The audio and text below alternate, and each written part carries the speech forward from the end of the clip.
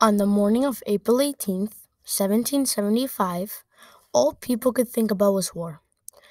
The taxes, the Boston Massacre, the Boston Tea Party, and the Intolerable Acts were all some of the many reasons why the American Revolution was predicted to happen, and it would be a costly one for both sides. One of the battles that led to the uh, American Revolution was the battles of Lexington and Concord. The British are coming. The British are coming. The British are coming. I must warn Samuel Adams and John Hancock because if I don't, they'll most likely be captured or killed for treason. So I must warn them. It is horrible. Let's see what he say. The British are coming. Be ready to defend. It will get more men. It will only attack if they fire. Hands up. We want to go into Concord swiftly and smoothly while capturing Sam Adams and John Hancock. Someone fired a shot in this moment. That is known as the shot heard round the world. Who shot that? It wasn't us. It wasn't us, too. Well, the battle seems to be ending. It looks like we have lost some men and the British are winning. Retreat, they have caused many deaths. Good job, men. We have defeated them in Lexington. Now it is time to continue to Concord.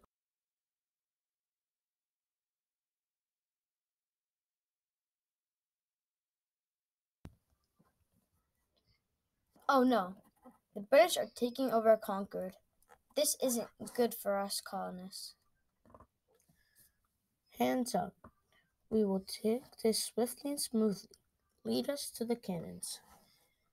You have far more soldiers than us.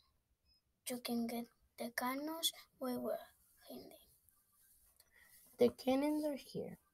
Let's take all of them. We have the cannons. Let's move them out. They've taken our cannons. Now we don't have any big guns to bring them out of here.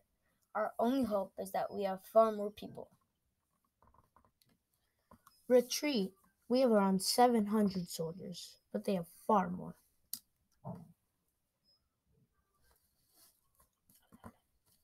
Go, go, go. They are leaving and have less men. Run. They have far more troops than us. That was a costly battle for the British. It was found that when the British returned to Boston, the Patriots had put so much force into this battle, nearly 3,500 people attacked, and some of those were as they retreated. Oh, and you remember the shot heard around the world?